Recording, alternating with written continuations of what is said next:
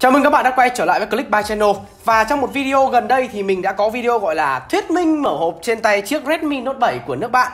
Tuy nhiên có một số vấn đề được người dùng đặt ra đó chính là số chấm trên camera của chiếc Redmi Note 7 Tại sao lại là 48 megapixel? Trong khi đó thì con chip không thể đủ khả năng hỗ trợ. Hãy cùng mình tìm hiểu vấn đề này trong video nhé Ok, bắt đầu nào.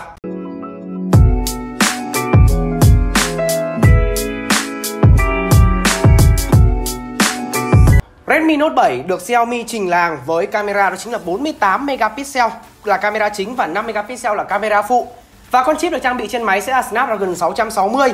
Tuy nhiên, mức giá của nó thì quá là rẻ khi mà ở thị trường Trung Quốc chỉ bán là 3,4 triệu đồng, đấy là mức khởi điểm luôn. Và mình thấy rằng là cấu hình mạnh này, camera tốt. Thế nhưng, những người dùng đã phát hiện ra rằng là con chip Snap 660 đó không thể hỗ trợ được tối đa camera là 48 megapixel, mà theo Qualcomm công bố thì Snap 660 chỉ hỗ trợ được camera 25 megapixel đơn và 16 megapixel kép. Có nghĩa là nếu như trang bị camera kép thì tối đa đạt được chỉ là 16 megapixel mà thôi.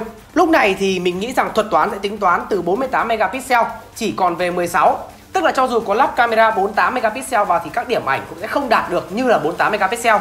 Hay nói khác, đây chỉ là thông số phần cứng, được mang ra để bắt đầu mọi người cảm thấy ngạc nhiên rồi là cảm thấy là cái máy này nó quá rẻ so với những cái gì Xiaomi mang lại. Thế nhưng mà chất ảnh đưa ra chỉ là 16 megapixel mà thôi.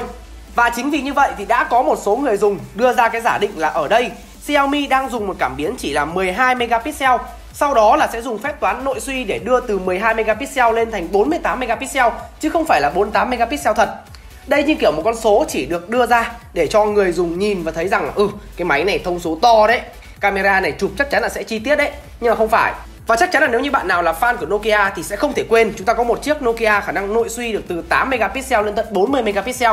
Đây có thể nói là một chiếc camera phone để lại cho mình nhiều ấn tượng nhất của Nokia. Khi mà chất ảnh nó cho ra nhìn rất là đẹp với phép toán nội suy. Vậy thì mình cũng hy vọng rằng là tuy Xiaomi công bố không đúng số chấm lắm, nhưng mà ảnh chụp ra sẽ được đẹp và đúng những gì chúng ta kỳ vọng. Hiện tại thì mình cũng chưa trực tiếp được chụp trên chiếc máy này nên mình không thể đưa những cái nhận xét sâu xa hơn hay là kỹ lưỡng hơn về chất ảnh của nó đưa ra. Nhưng mà hôm trước trên mạng thì mình cũng có thấy một số bạn sâu ra những cái bức ảnh này.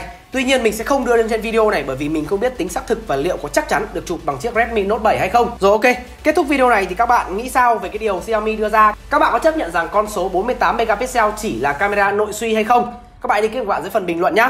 Còn bây giờ xin chào mọi người và hẹn gặp lại trong những video lần sau.